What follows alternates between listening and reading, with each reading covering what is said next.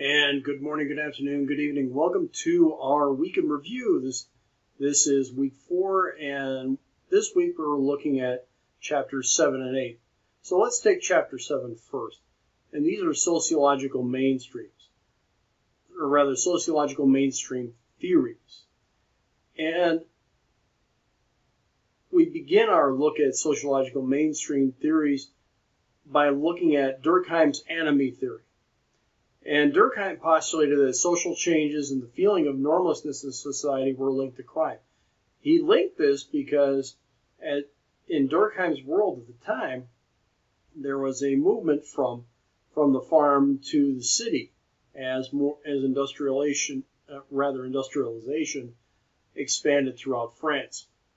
And so Durkheim believed that this feeling of normlessness due to not know, to having your entire life disrupted resulted in crime.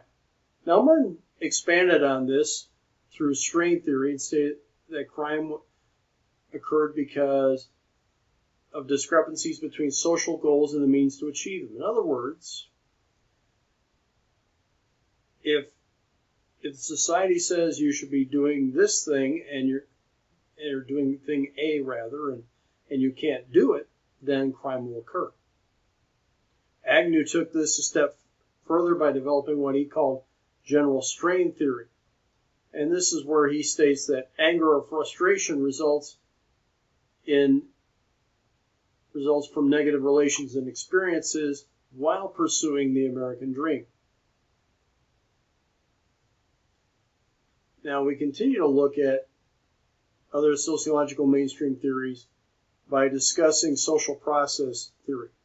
And social process theory are those theories that emphasize the idea that criminality is a learned or culturally transmitted process. Social process theory includes social disorganization theory that was espoused by and McKay, routine activities theory, Cohen, espoused by Cohen and Felson, theory of differential association, espoused by Sutherland, theory of differential reinforcement, which comes from Akers and Burgess, focal concerns theory that comes from Miller, delinquency and drift, which comes from Matza, and the techniques of neutralization, which comes to us by way of Sykes and Matza. Now, following those theories, we also looked at things such as social control theories. And this is the idea that society exerts some form of control or socialization on the person. And if that control fails, crime will occur. And this is where we think, find things such as containment theory, uh, which is espoused by, of all, name, of all people, Reckless. Yes, that is his name. Social bond theory comes to us from Travis Hirschi. And my personal favorite, general, the general theory of crime, which comes to us by way of Gottfredson and Hirschi and I'll expand on this just a little bit. Uh, self, the general theory of crime espoused by Gottfredson and Hirschi was that it resulted from a lack of self-control that was learned in, child, in not necessarily childbirth, but learned during child rearing. And this theory espouses that if the child hasn't learned by age eight, uh, the discipline and the ability to control themselves, it's never going to happen. And then, of course, you have power control theory by Hagan.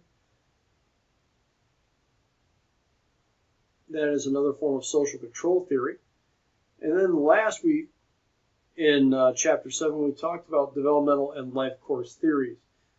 These, uh, of course, include things such as antisocial potential theory and life course criminality.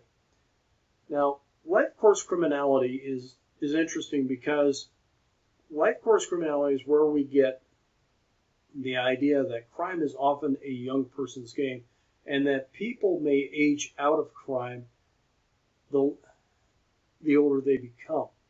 It also brings us to a very interesting concept where where marriage, not cohabitation rather, but marriage is the one thing that will guarantee that a delinquent will not, or a young criminal will straighten out. And we'll see where, and sometimes it happens that way.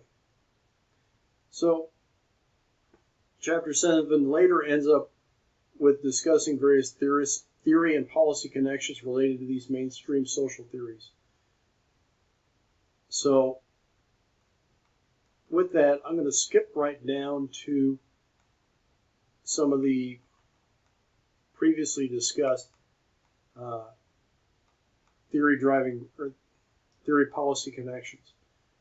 Now, if you look at some of these various theory policy connections, the war on, prover- on poverty, the, the, the entire food stamp program, the welfare program, the ADC program, and so forth,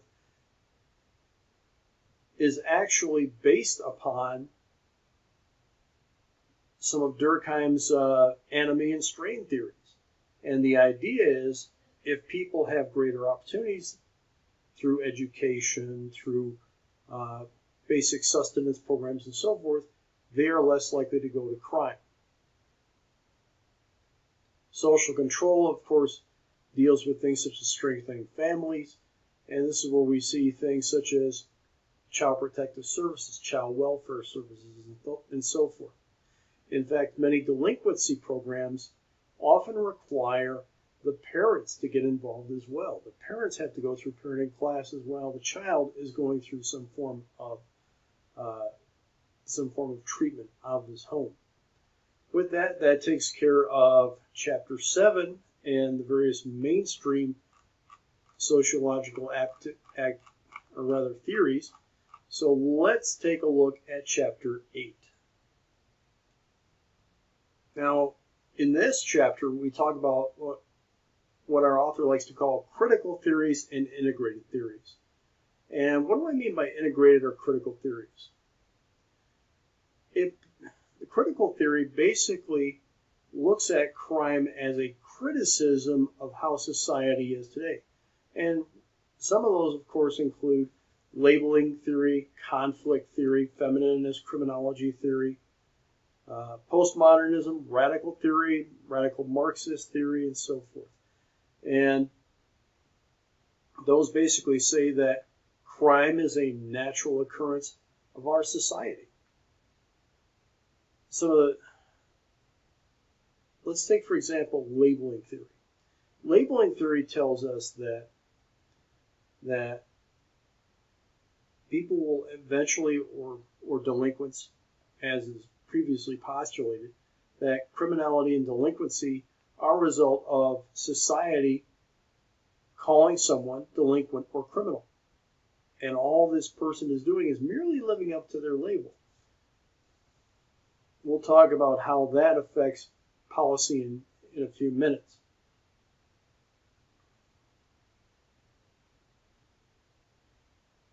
And of course, you can't look at labeling theory without looking at things such as primary versus secondary deviance. Primary deviance, of course, is what you did to get the label, and the secondary deviance is what you've done after that label has been applied. So, a number of theories in this chapter also discuss how the state and politicians and capitalism create a culture of conflict. And so, crime is is defined as the lower class merely trying to even the playing field. So that's another it's another way of looking at critical or radical theories, and several fit this fit this bill. Uh, Marxism, for example, uh, is considered to be a critical theory. Feminist theory says that says that uh, women are merely committing crime because now they have the opportunity to do so. They're doing it to protest the idea of being of being uh, stuck as the domestic person in the house and so forth. So now they're going to go out and venture forth and commit crime. So with that, let's take a look at some of the policy decisions that have come about as a result of this of this sort of behavior labeling theory. Now, our, our authors tell us that labeling theory has resulted in the in in two uh, historical events. One is prohibition, which has gone away, and the other is the war on drugs. And I don't really believe that's a that's an adequate comparison. What is better to look at is the juvenile justice system. The juvenile justice system revolves entirely around labeling theory. If you look at the juvenile justice system, if a police officer decides to pursue formal charges against a, a juvenile, he doesn't seek a warrant. Instead, he seeks a petition and request for action. If the child is apprehended by law enforcement as a result of a court order, it's not an arrest warrant. Instead, it is a pickup order. If the child is goes to court, he is not it is not a criminal trial. Rather, it is an adjudication. When the case when the when a verdict is returned, it is not a criminal verdict, but rather a disposition. And when the child ends up being securely detained, it, the child is obtaining residential treatment. You kind of get the idea. The idea is to is to not associate crime and stigma and therefore having having the child go on to commit secondary deviance. Some other examples that our that our author uh, looks at, and I don't particularly agree with a lot of them. Conflict theory. Our authors tell us that that conflict theory is interpreted in our policy by non-enforcement of white-collar crime. And if you've looked at the at the criminal prosecutions, especially in these in the media folder that I've that I've put out for you this week, it's Club Fed is a thing of the past. Now, we start to see uh, feminist criminology. We are seeing again greater female presence in crime. Now, if you look at it though, what crimes are women really committing? They're committing frauds, forgeries, identity thefts crimes that actually women are just better suited to do. You don't see a lot of women stick up artists. You don't see a lot of, of women serial murderers, although uh, although there, there's always one that proves it. Uh, so you're not. See, what women are really doing is they're getting involved more and more in fraud, and we're starting to see more more attention paid to it because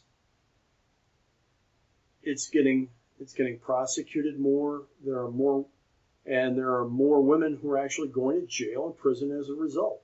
It used to be that women would would almost never go to jail, and the last thing any court wanted to do was to find a woman guilty. And if they did, it was she was usually placed on some kind of supervised release program. And so